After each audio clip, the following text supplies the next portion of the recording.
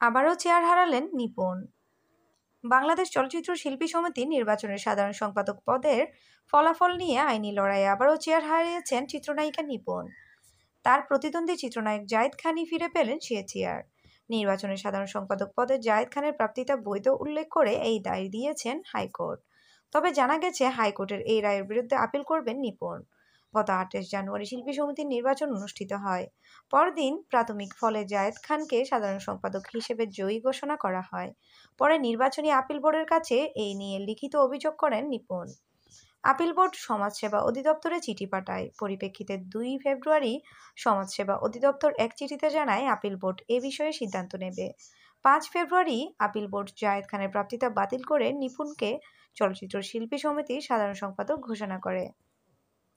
এই অবস্থায় সমাজসেবা অধিদপ্তরের দুই ফেব্রুয়ারি চিঠি ও আপিল বোর্ডের পাঁচ ফেব্রুয়ারি সিদ্ধান্তের বিরুদ্ধে হাইকোর্টের রিট করেন জায়েদ খান। এর প্রাথমিক শুনানি নিয়ে সাত ফেব্রুয়ারি হাইকোর্টের রুল সহ আদেশ দেন।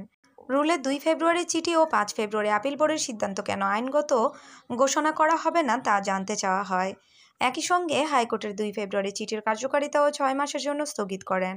পাশাপাশি দুই ও পাঁচ ফেব্রুয়ারি চিঠি ও সিদ্ধান্তের ভিত্তিতে জায়েদ খানকে সাধারণ সম্পাদক হিসেবে দায়িত্ব পালনে কোনো ধরনের প্রতিবন্ধকতা সৃষ্টি না করতে নির্দেশ দেওয়া হয়।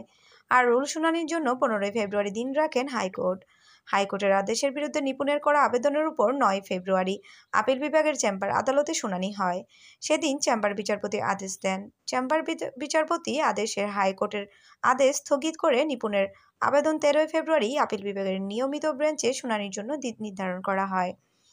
একই সঙ্গে শিল্পী সমিতির সাধারণ সম্পাদক পদে দায়িত্ব পালনে ওই সময়ে দুই পক্ষকে স্থিতাবস্থা বজায় রাখতে নির্দেশ দেওয়া হয়।